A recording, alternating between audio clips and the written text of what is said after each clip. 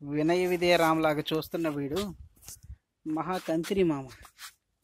వీడు మాత్రం చాలా వినయంగా చూస్తుంటాడే కానీ వీడే పెద్ద రౌడి. ప్రతి కుక్కను చూసి అటాక్ చేద్దామని బ్రర్ అంటుంటాడు. ఎందుకు మరి? నాకు ఇలా సలాం చేస్తున్నావు? అండి ఇది ఎవడో షూలు వేసుకొని వచ్చాడు.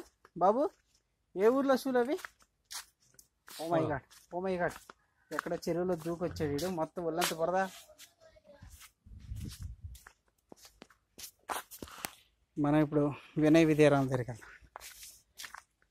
వినయ్ విద్యారాములో రామ్ చరణ్ లాగే ఉన్నాడు అనుకుంటున్నారా?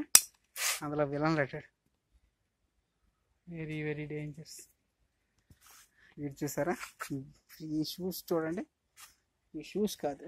చెరువులో దూకి బురద అంటించుకున్నాడు. ఇప్పుడు వాటర్ కోసం వెతుకుతున్నాడు ఎండాకాలం కదా ఇక్కడ కొంచెం వాటర్ ఇబ్బంది ఉంది. ఏయ్! ఎన్నడా? కైకో అరిపి అరిసింగ్ అడి ఫుల్. ఓకే.